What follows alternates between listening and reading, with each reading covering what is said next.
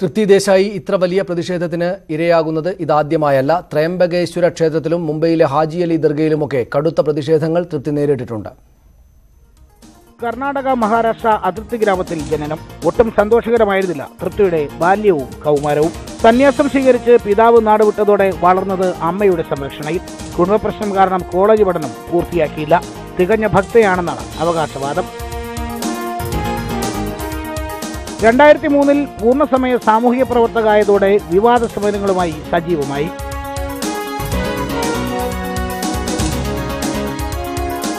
മഹാരാഷ്ട്രയിലെ ശനി ഷിഗ്നാപൂർ ക്ഷേത്രത്തിൽ സ്ത്രീകൾക്ക് പ്രവേശനമില്ലാത്ത ശ്രീകോവിലിൽ കയറാൻ ശ്രമിച്ചതാണ് ആദ്യ സമരം.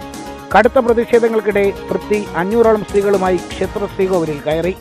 നാനൂറ് വർഷമായി നിലനിന്ന വിലക്കാണ് അന്ന് തകർന്നത്. രണ്ടായിരത്തി പത്തിൽ ഭൂമാതാ ബ്രിഗേഡ് എന്ന സംഘടന സ്ഥാപിച്ചതോടെ തൃപ്തിയുടെ സമരങ്ങൾ ശക്തമായി.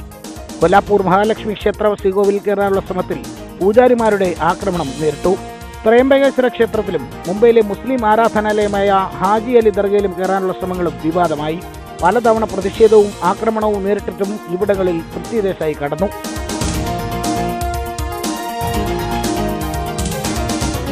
രണ്ടായിരത്തി അഞ്ച് മുതൽ ശബരിമലയിൽ കയറാൻ ശ്രമിക്കുന്നു. തികഞ്ഞ ഭക്തയാണെന്ന് അവകാശപ്പെടുന്ന തൃപ്തിയുടെ രാഷ്ട്രീയ നിലപാടുകൾ എന്നും ദുരൂഹമായിരുന്നു. സംഘപരിവാറിന്റെ അനുകൂലിയെന്ന് ചിലർ വിമർശിക്കുന്നു. എന്നാൽ രണ്ടായിരത്തി പന്ത്രണ്ടിൽ മഹാരാഷ്ട്രയിലെ പ്രാദേശിക തെരഞ്ഞെടുപ്പിൽ തൃപ്തി മത്സരിച്ചത് കോൺഗ്രസ് സ്ഥാനാർത്ഥിയായാണ്. പ്രശാന്താണ് തൃപ്തിയുടെ ഭർത്താവ്. ഏകമകൻ Yogi Raj. Research desk news eighteen.